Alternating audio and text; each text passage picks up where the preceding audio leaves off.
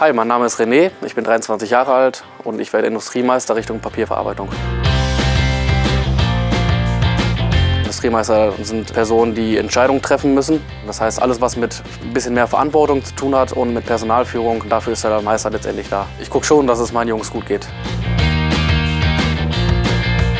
Also generell macht der Industriemeister Aufgaben von A bis Z, zum Beispiel die Personalplanung, Urlaubsplanung, die Organisation äh, des gesamten Produktionsprozesses. Es ist also sehr vielseitig. Die Weiterbildung zum Industriemeister dauert drei Jahre in Teilzeit oder zehn Monate in Vollzeit. Die Karrierechancen wachsen mit der Weiterbildung erheblich. Die wichtigsten Fähigkeiten sind Menschenkenntnis und Problemlösefähigkeit.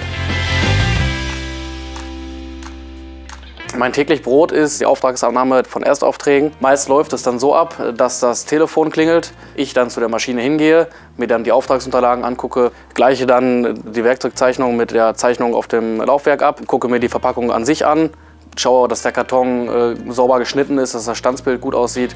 Die Zeichnung wird nachgemessen und dann äh, gebe ich den Auftrag frei. Dann darf der Maschinenführer anfangen und den Auftrag produzieren. Ich würde sagen, äh, so eine Weiterbildung ist genau das Richtige für Personen, die beruflich vorankommen wollen, sich natürlich finanziell, äh, gehaltstechnisch weiterentwickeln möchten und auch mehr Verantwortung übernehmen wollen. Also es kommt auf jeden Fall viel on top. Letztendlich ist es aber alles machbar und es lohnt sich auf jeden Fall. Okay, aufgepasst. Meister sein ist nicht schwer, Meister werden umso mehr.